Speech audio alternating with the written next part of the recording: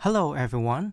In this tutorial, I will show you how you can turn an Excel spreadsheet like the one I have on the left here into a REST API like the one on the right here.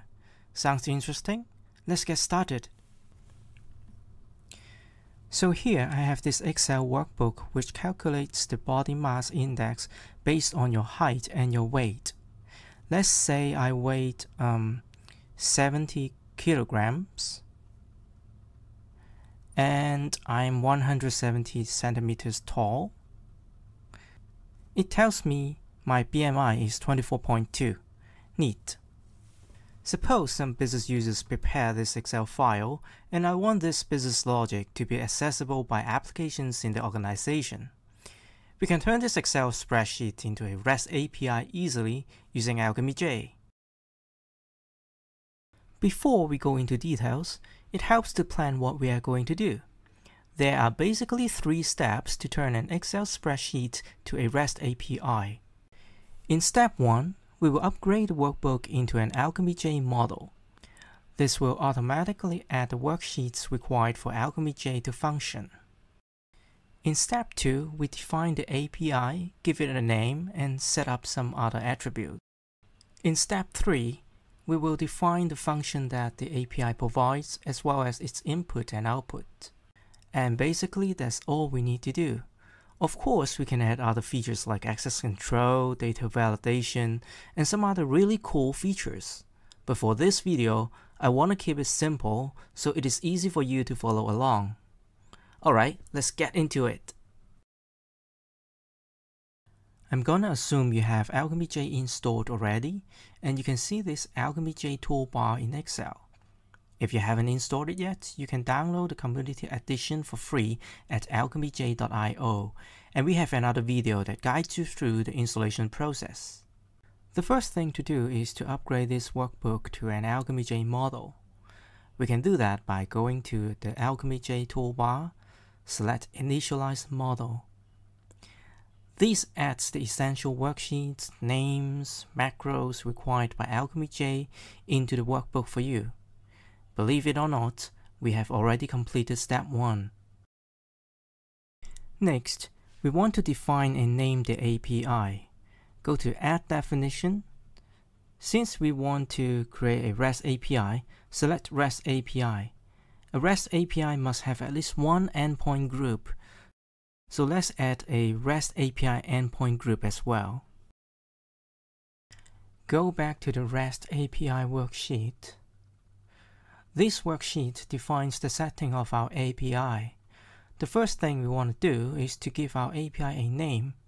Let's call this BMI calculator. And the package name is BMI underscore calculator. Alright, Next, we need to tell AlchemyJ that this API has an endpoint group.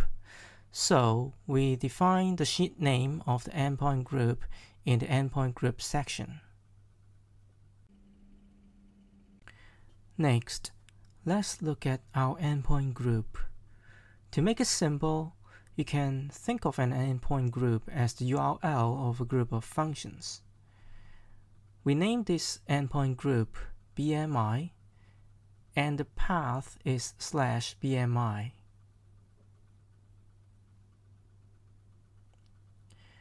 We want this endpoint group to provide a function that calculates the BMI.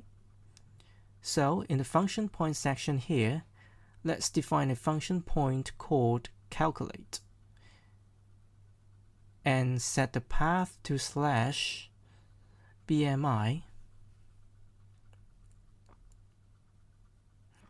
This makes this calculate function accessible by slash BMI slash BMI. For operation, select get since we are not saving any data. Okay, the next two columns define the output of the calculate function. I want to leave them aside for a while. We will come back to them after we have set up the input parameters of this function. Great, Let's move on to defining the input parameters. Our BMI calculator requires two pieces of information for the BMI calculation, the weight and the height. So in function point, type in calculate.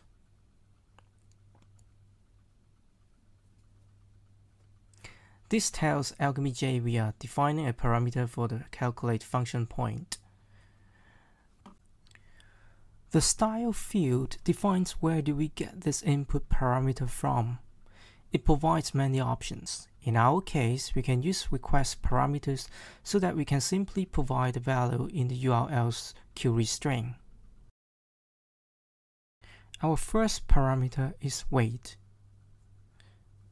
And since it can be a decimal number, we should select double as the data type. In data address, we should put the cell address of weight, which is in the BMI worksheet cell D4. So we should put BMI exclamation mark D4 here. However, this is not a good practice because if we type in the address directly, the configuration will become wrong if we rename the BMI worksheet in the future. To make it more robust, I use an AlchemyJ extend function AJ address, which basically just returns the cell address of the selected cell.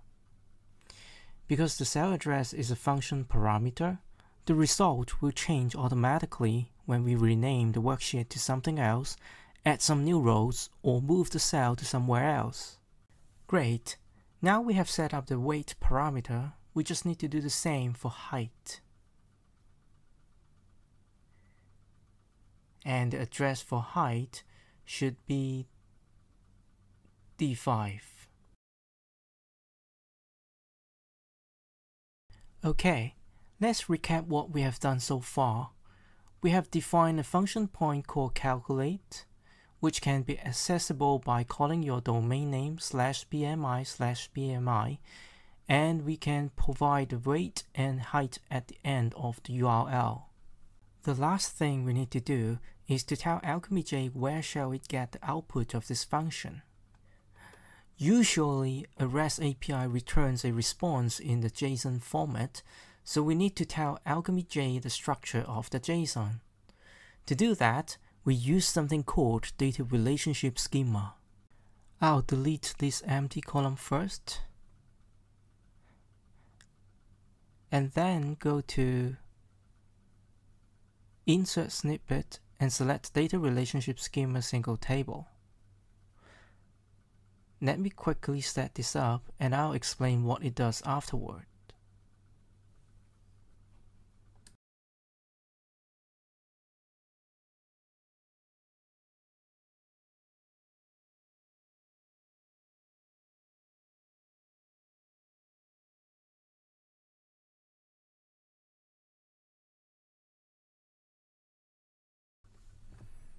Basically, what I have done here is to tell AlchemyJ that to get the response of this function, go to range B12 to E13.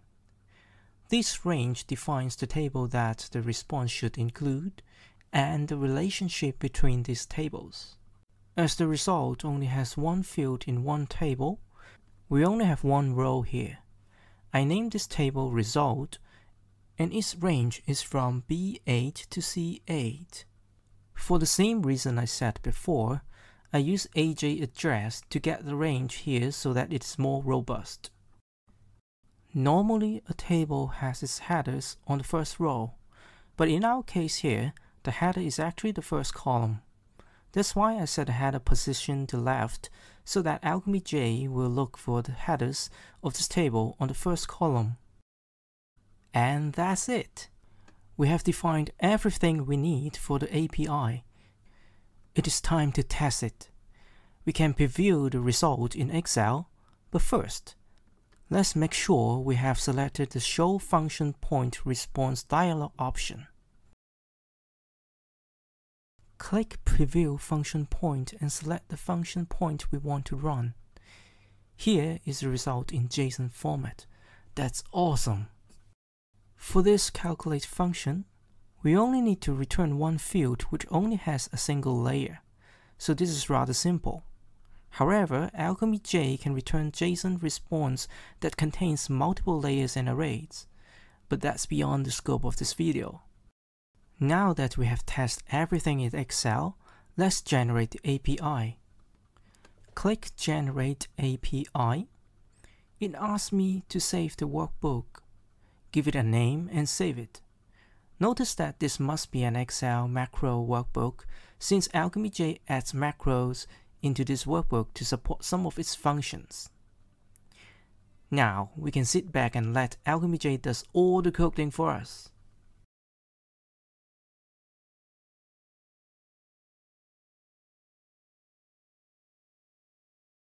Now the API has been generated. AlchemyJ automatically launches the API using an embedded web server so we can test it right away. One cool thing about AlchemyJ is that it even comes with a Swagger website which describes the API. We can launch the site by clicking Launch Open API. You can surely customize the title and description on this page we can have another video to talk about that. For now, let's try our BMI calculator and see if it really works. Click the try it out button. Let's try it with 160 centimeters and 60 kilograms. Click execute. And here we have it, a BMI calculator REST API created in Excel. Since this function uses the get operation, we can simply test it by typing the URL in a browser. Of course, you can also test this API using tools like Postman and SoapUI. Okay guys, that's it for today. If you head on over to alchemyj.io, you can download AlchemyJ Community Edition for free. Thank you so much for watching. If you like this video, please like, comment, share, and subscribe this channel. Have a nice day. Bye bye.